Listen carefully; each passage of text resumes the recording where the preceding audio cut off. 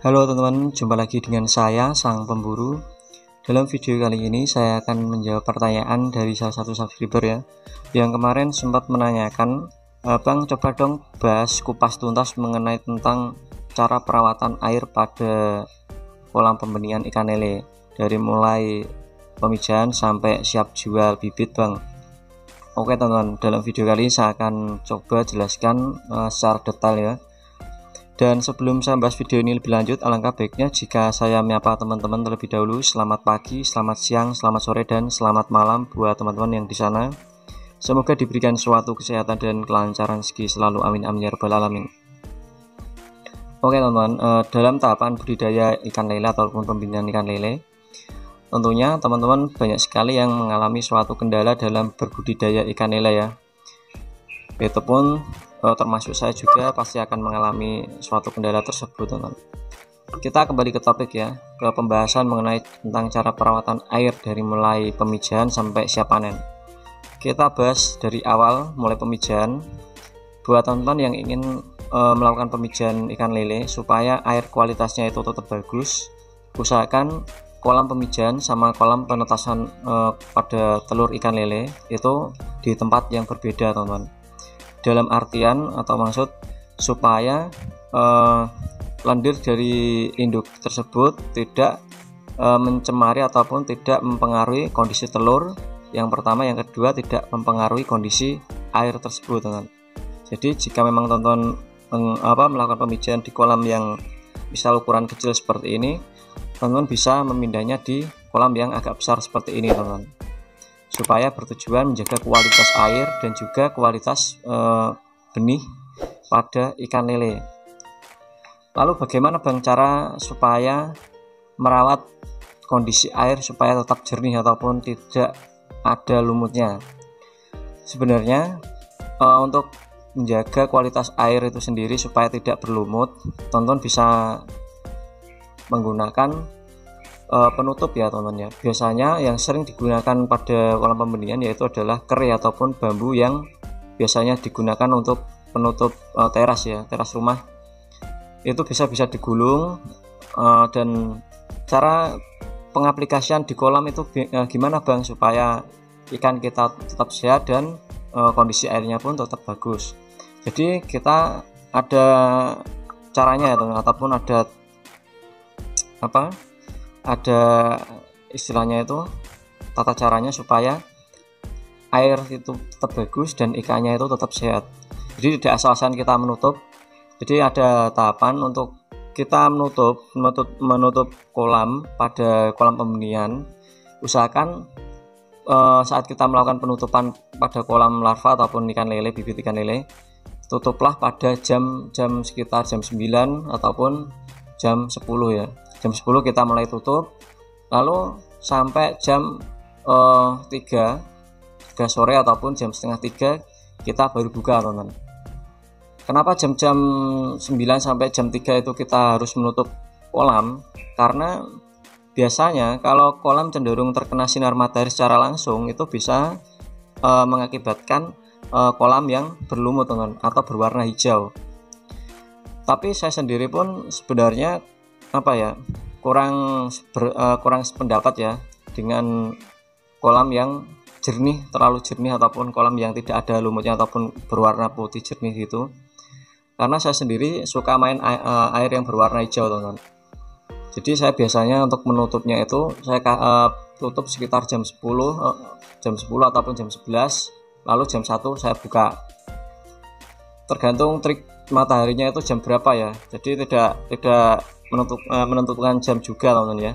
Jadi biasanya kalau tonton ingin airnya tetap jernih tutuplah jam 9 atau jam 10 lalu jam 3 nya baru dibuka teman-teman ya. Itu berlaku kalau hujan juga teman-teman harus menutupnya ya teman-teman ya. Lalu e, gimana bang perawatan selanjutnya supaya e, airnya itu tetap sehat dan tetap bagus hal yang sering saya sampaikan untuk pembenihan ikan lele teman-teman harus uh, menggunakan air kocoran. Itu harus dialirkan satu uh, kali 24 jam atau 24 jam nonstop ya teman ya. Jadi air yang kecil itu harus hmm, apa ya harus mengalir terus sampai 24 jam. Sampai e, bibitnya itu panen teman ya. Tapi ada cara supaya e, saat kita memberikan kocoran pun itu tidak asal-asalnya tentunya untuk usia 0 sampai usia 14 hari 14 hari ya kita harus menggunakan air kocoran turun ke bawah harus as ya ataupun lot ya. Lot pas di titik tengah jatuhnya jadi jangan sampai menceng ya teman karena biasanya jika air yang kita masukkan itu terlalu kenceng posisinya menceng itu akan mengakibatkan kematian pada bibit atau larva ikan lele. Karena kalau kita miring sedikit saja itu biasanya akan mengakibatkan arus ya. Jadi eh, nanti jika teman-teman e, mempraktekannya pun akan bisa melihat hasilnya ya. Kita pemberian kocoran itu untuk usia 0 sampai 14 hari itu teman-teman harus catat ya. Itu harus turun ke bawah lot ya. Jangan sampai miring ya. Pokoknya lurus lah pokoknya lalu setelah teman-teman memberikan kocoran hal apa saja bang yang harus kita lakukan supaya um, tetap menjaga kualitas pada kolam pembenihan uh, pembenihan itu sendiri. Uh, setelah kita melakukan tahapan penutupan pemberian kocoran, lalu kita bisa memberikan obat ataupun antibiotik ataupun probiotik ya teman ya. Untuk menjaga kualitas air itu sendiri supaya tetap uh, jernih, biasanya saya menggunakan uh, catfish. Itu saya kasih seminggu itu dua kali ataupun satu kali dalam seminggu tentunya. Karena obat catfish itu sendiri itu sebagai antibiotik ataupun juga bisa menjadi obat e, penghambat e, lumut teman ya dan setelah teman-teman memberikan e, perawatan air obat. Lalu hal selanjutnya yang kita lakukan adalah e, melakukan sipon secara rutin ataupun berkala. Biasanya untuk melakukan penyiponan sendiri itu bisa dilakukan sekitar dua hari sekali atau tiga hari sekali bahkan ada yang satu hari sekali ya. Itu tergantung dari teman-teman sendiri. Ka, uh, tapi jika teman-teman menggunakan penutup saya jamin untuk melakukan sipon itu sendiri akan lebih mudah teman-teman ya. Karena uh, kondisi air tersebut akan tetap jernih ya. Kalaupun ada sedikit kotoran teman-teman harus sipon karena jika tidak disipon itu jamur uh, uh, sorry lumut itu akan cepat tumbuhnya teman-teman ya. Jadi harus disipon sekitar dua hari sekali ya. Uh, tata cara menyipon pada kolam ikan lele teman-teman bisa melihat di video saya yang kemarin uh, sudah saya upload ya dan buat teman-teman yang menanyakan juga bang uh, kapasitas dalam apa pembibitan ikan lele untuk kolam ukur misal ya misal ini ukur dua kali tiga misalnya itu muat berapa sih bang? Sebenarnya jika teman-teman bertanya eh, kapasitas dalam satu kolam itu berapa ribu itu tergantung dari ukuran ya teman ya jadi untuk ukuran mulai ukur 23 untuk satu kolam kalau misal ukur 23 ataupun saya tidak punya ukur 23 ya saya uh, anggap saja ini sebagai contoh lah ya. Ini ukuran kolam punya saya satu setengah kali dua setengah meter ya dengan ketinggian air 25 cm teman ya saya tidak pernah menggunakan air yang ketinggian yang terlalu tinggi karena kolam saya ketinggian hanya 50 cm mungkin saya menggunakan ketinggian air paling tinggi itu sekitar 30 cm teman ya. Itu pun sangat tinggi sekali dan menurut saya itu sudah lebih dari cukup ya untuk ketinggian air untuk pembibitan ikan lele. Dan kapasitas dalam budidaya ikan lele ini kita bisa ukur dari uh, ukuran dan uh, luas kolam tersebut teman-teman. Kalau dari larva mungkin untuk pemijahan awal ya jika kita menggunakan kolam yang kecil mungkin teman-teman bisa apa menggunakan dua atau tiga kolam ya dan ciri-ciri saya akan berikan ciri-ciri kok apa bibit ikan lele yang mungkin tingkat kepadatannya itu melebihi dari kapasitas kolam. Yang pertama, bibit akan cenderung naik ke permukaan pada sore hari. Bahkan terkadang satu kali 24 jam bibit akan cenderung menggantung, tapi kondisi bibit e, fisiknya itu tetap sehat. dan perlahan jika itu berlarut-larut mungkin akan timbul semacam penyakit seperti uh, kumis keriting ataupun penyakit-penyakit lainnya yang biasanya umum terjadi adalah penyakit biting ataupun kurus kering teman-teman. Itu akan menggantung. Jika dibiarkan seperti itu terus mungkin akan mengakibatkan kematian pada bibit ikan lele tersebut teman-teman ya. Lalu perawatan uh, mulai dari umur 14 hari sampai uh, satu bulan ataupun ukur 35 biasanya itu saya berikan uh, rebusan daun pepaya teman ya. Rebusan daun pepaya ataupun obat herbal yang uh, pernah saya upload kemarin. Dan jika teman-teman apa bingung untuk bikinnya teman-teman bisa membeli di uh, punya saya ya harganya sangat murah sekali teman-teman ya.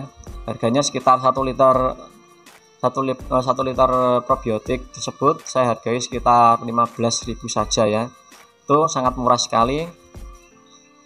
Dan tentunya untuk kualitas teman-teman bisa apa merasakannya sendiri ya nanti jika memang teman-teman apa gunakan atau aplikasikan pada kolam ikan lele teman-teman dan harga tersebut bisa berubah ya teman-teman ya. Tergantung dari naik turunnya bahan yang kita gunakan.